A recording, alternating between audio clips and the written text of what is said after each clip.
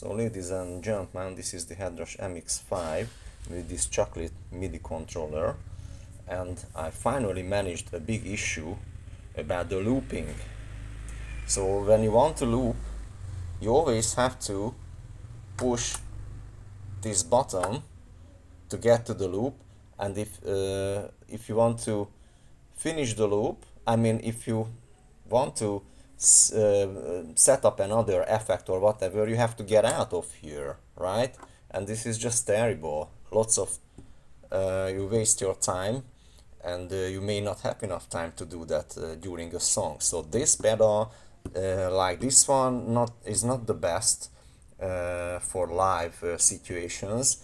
I have a Helix, the same issue, and all of these middle range multi-effect pedals have the same issue that they don't have a simple and usable looper uh, when you want to work online when you want to play sorry when you want to play uh, live gigs.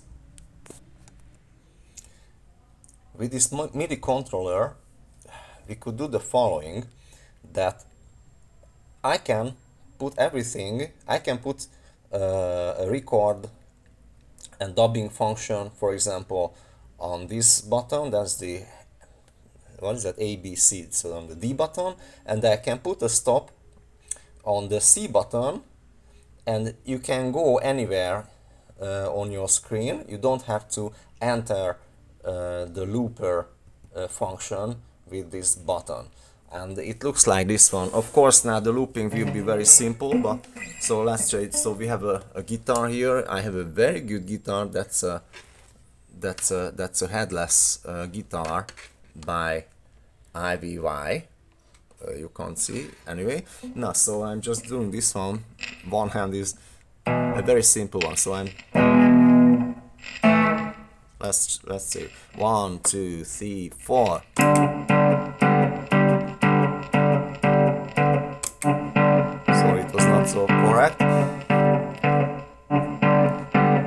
can stop it and record one more time. So you could see that I stopped with this button and everything on the screen is about effects.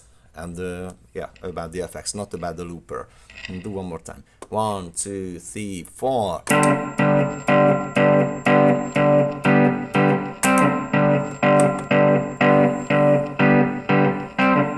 Yeah so we have the loop and I can play around.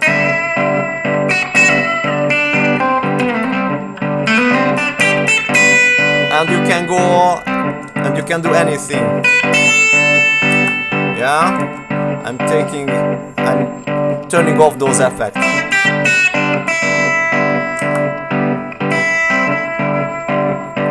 I can change, of course I can go some yeah, you can hear I have a phaser on now. I can turn it off.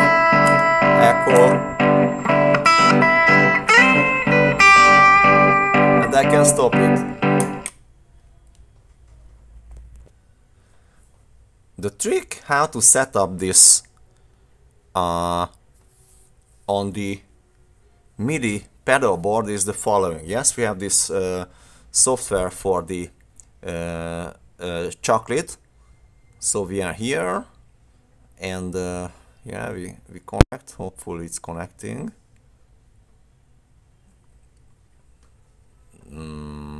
I have to do it again. Okay so now it's connected. And the trick uh, for the setup so I I set up uh, foot switch D and uh, foot switch C for that one. So we are of course uh, advanced custom mode. And uh, as you can see so we go to the D pedal. And uh, you can see the commands. So in the Headrush MIDI commands the 70 is the record. And overdub the loop record. So the first first one is yeah uh, I chose uh, MIDI 7 MIDI channel 7 and also of course MIDI channel 7 on the Headrush so we have 70 and the first uh, number is uh, 127 and the second one is uh, the same but you have to set up 0 so we have these two uh, stuff and also on the C button on the C button you set up for the stop. Actually it's peel it's called peel uh, in the headrush MIDI chart. So you can see that this is 69 actually that stops my loop and probably it uh, of course it uh, removes the loop as well. So the first code is 127 and the second code is 0 with the same MIDI code yes 69 and that's all. And you can set up anything for the rest of the two buttons.